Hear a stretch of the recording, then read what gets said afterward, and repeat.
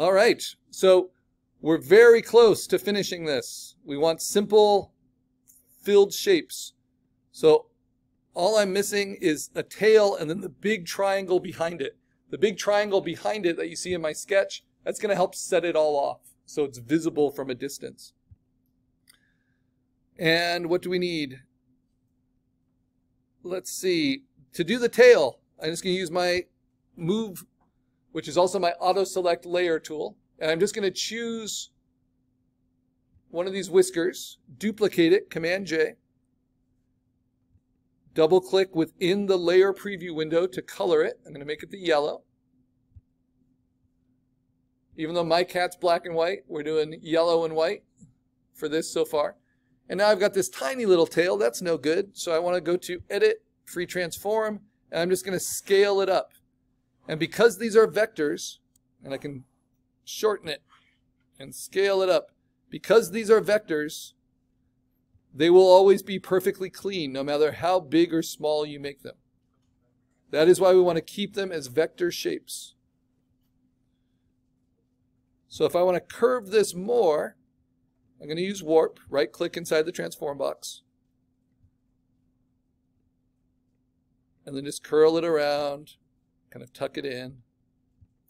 That might have been pushing this shape a little bit too much, but yeah, let's go Command Z and try again. Option Command T. Let's just tilt it, not overthink it, make it bigger. push it up and out. All right, so now I've got a tail. I can keep working on just the flow of that tail just a little bit. There we go. That flows a little bit better. And now I just need the big triangle behind it. And I have a little eyebrow there. Maybe I can add that. So big triangle, what do I do? Underneath my sketch, make a parametric shape. I'm almost always using a three-cornered triangle for this.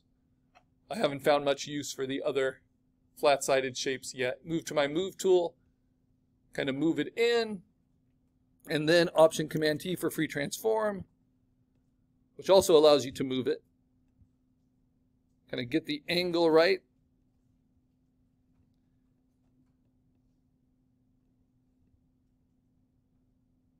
Try to complement the shapes I already have. Keep it equilateral.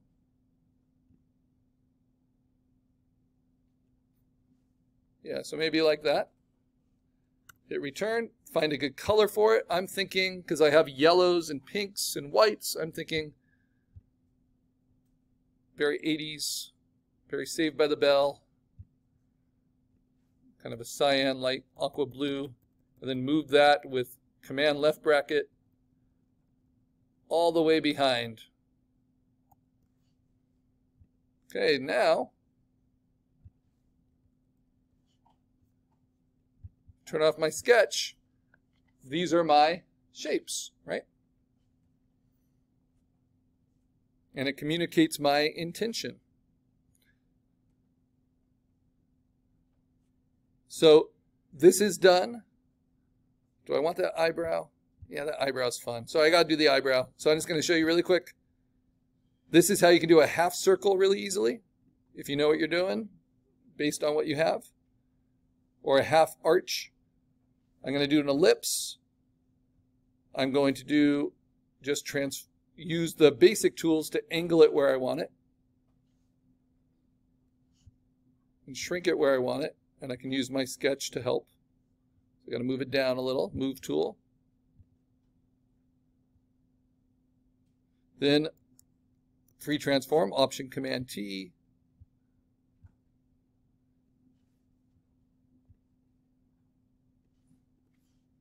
And now I'm just going to option command T, warp it, and I'm going to tuck this lower half up into the upper half. So it becomes a, a kind of a kidney bean shape.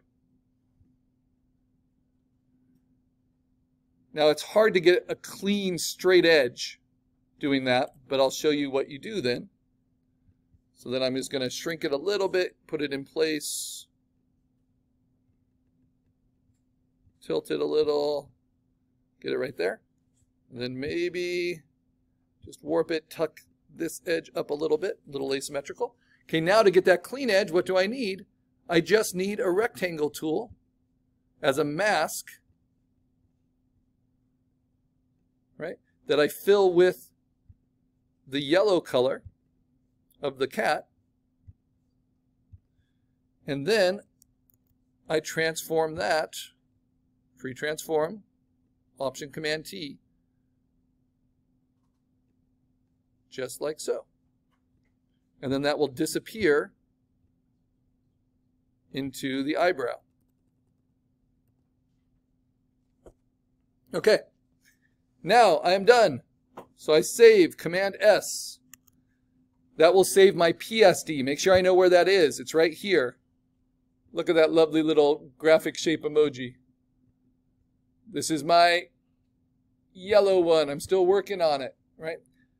That's my PSD format. Now I need the format that's going to go up onto Canvas. So I'm going to say File, Export as, this time a PNG. But before I do that, I make sure all my raster layers, all my sketch layers are turned off, above and below. Even if I think they look cool, even if I like that little drop shadow, I'm going to show you those kind of effects later. But I turn them off now so I just have the, the empty grid behind. And then I export it as a PNG. It's going to go to downloads. I'm going to move it from downloads into my folder or onto my desktop. Just keeping it organized into your exercise two. And it looks just like my PSD, except it ends with PNG. And remember, PNG is an online format that supports transparency. So when I open it up in preview, it will have a, a middle gray background. So you're not doing a JPEG, because a JPEG would give you a white background. And we want it to be a floating shape. And now to meet the requirements of the exercise, I post the little sketch that I got from the website, optional. I don't know what that that is. I think there's a space shuttle launch going on next door. So, optional inspiration reference. And then I'm actually going to post not my PSD, but my PNG and shrink it so it doesn't look too huge. Remember, emojis are meant to be a modest size, even though these vector graphics can be scaled to any size. So kind of fit them under your name. There we go. And then you're not done until you hit the blue button at the bottom. In this case, because I'm editing my previous post, it says save instead of reply. So I have just done what are called the flat graphic. Now, now I can go in, only now I've met all the requirements for the bonus finishing extras. I'm going to turn it into flat 2.0. Which is actually very easy to do. What we do, and I'm just going to show you with some simple things, is we take our shapes from our PSD, like this triangle, and we can do different things to it. So if we double click not in the layer preview window where we change the color, but next to the name of it, but not on the name of it, you get to what are called the layer styles. Layer styles are the effects we can do to that vector shape without losing any quality. So a very common one is to add a gradient. So you'll see the gradient overlay option. You click that, and then you can see these settings, and this gives you a lot to play with. So a simple gradient is just a fade from white to black through gray but you can set the angle of it. This is a 90 degree angle. That seems to work okay. I can reverse it. So it's dark on top, light on the bottom. I can change its scale, like how subtle, how strong it is. And I can even change, you know, what that gradient is. I can add colors to it. I can do different versions of gradients. So if I want that kind of 80s look, I might kind of speckle it and do it at a different angle like that and then actually give it some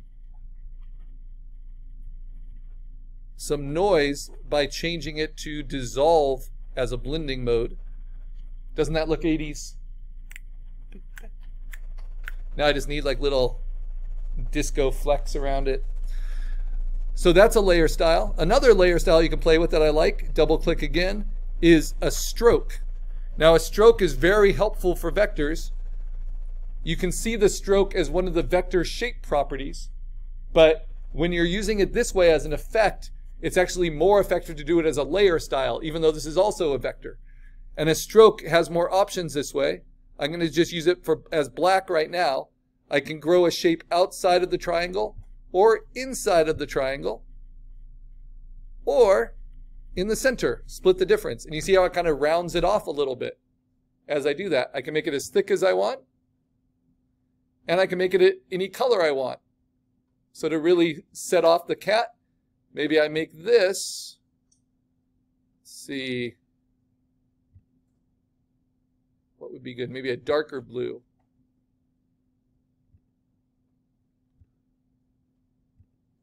Not an electric blue, like a Prussian blue. There we go. And then let's give that some lower opacity. Ah, no, I'll keep it at 100%. But let's make it a little bit lighter. So you, you can play with these features. And then what's so nice about them is they can be turned off at any time. You can see them as effects with a drop-down menu on the layer. And you can turn off one or both at any time. Or you can turn them all off. Remember that blue line is just showing us the path around the vector shape. So if I want to change the angle of that gradient so more of it got here, I would just double click here, go to that gradient, and then just play with the angle, and it will change it in real time. So these layer styles are a great thing to use on vector shapes. They're always perfectly clean. Now, what if I want to do a gradient, let's see, on the cheeks and on the belly? Well, what I can do is select multiple layers, holding down Command.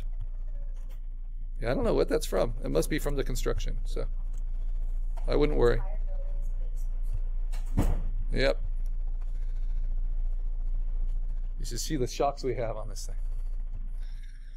And I can just play with gradient overlay again, right? It will remember my last settings. Actually, I won't use gradient overlay since I've already showed you that one. What if I do what's called a drop shadow and put a shadow underneath this cheek? And I can play with how soft it is, the colors. You've probably played with these kind of things in slideshows. This is very familiar to a lot of kind of the formatting options you have in documents. I can also play with what's called inner shadow, which will also be directional.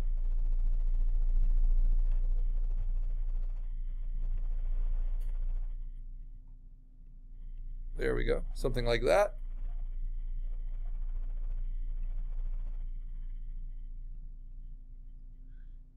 And you just play with these different features. That's too dark. And then you can actually copy that layer style. You can see those effects here. If you right click and you copy the layer style, under layer style, copy, I can apply it to another layer. Like here, then I can go right click, layer style, paste, and it will make them match. Do that to the nose as well. Just right click, layer style, paste. I'll give these shadows to everything. Layer style, paste, and to the foot.